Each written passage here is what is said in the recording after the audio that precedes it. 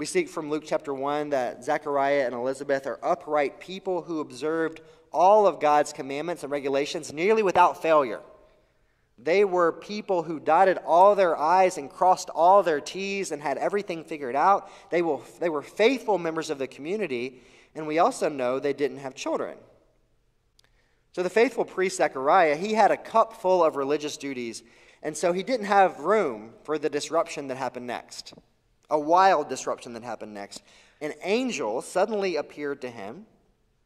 Let's just pause for a second. I think when we hear things like that in church, we just say, yeah, another angel. But an angel appeared to him, right? This is not an everyday encounter. An angel appears to him while he's in basically the sanctuary, right? Anyone ever had that happen? Okay, so an angel, let's, let's, when we read scripture, I think we become numb to the extraordinary things that are going on.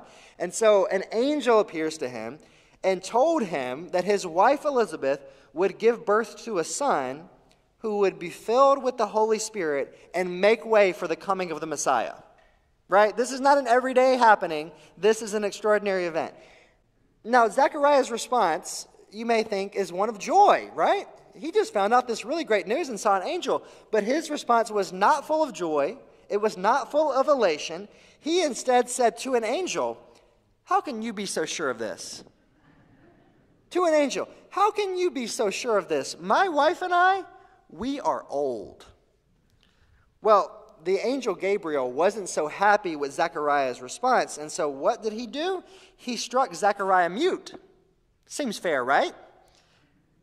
Uh, now, part of me wants to judge Zechariah and laugh at him for the way that he interacted with an angel, a message from God through an angel. How can he respond in such a terrible way to the message from an angel that he would have a child who would play a special role in the becoming of the Messiah when he and his wife are old, no less. But here's the good news is, is this is not the end of the story for Zechariah. Because when we get to our story from today's passage, we see that God comes through on the promise God gave to Zechariah through the angel. Elizabeth, his wife, does indeed give birth to a baby boy while she and Zechariah are very old. And immediately, when she gives birth, everyone says, Well, you have to name this child after his good, upstanding father. The child must be named Zechariah. But Elizabeth knew that the child should be named John. The crowd, pushing for him to be named uh, after his father, went to Zechariah to say, Zechariah, you agree with us, right? This child should be named after you. But Zechariah was still mute. He was unable to talk because the angel had struck him mute. And so Zechariah, when he couldn't talk, he wrote down John. They said, The child should be named after you. And he said, No, John. Finally, finally, Zechariah is able to make room for what God had told him was coming.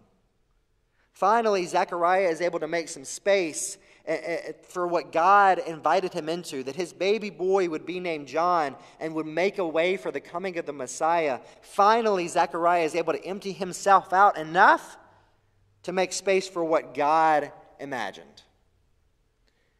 And when Zechariah finally made room, God really moved. Zechariah was immediately filled with the Holy Spirit and he began to prophesy.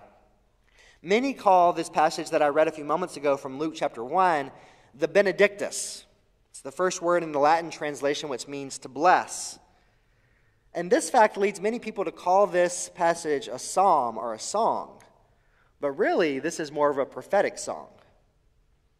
Because the whole song, this prophetic song, is full of allusions to the Hebrew Bible, which Zechariah knows so well because he was a priest, what we call the Old Testament.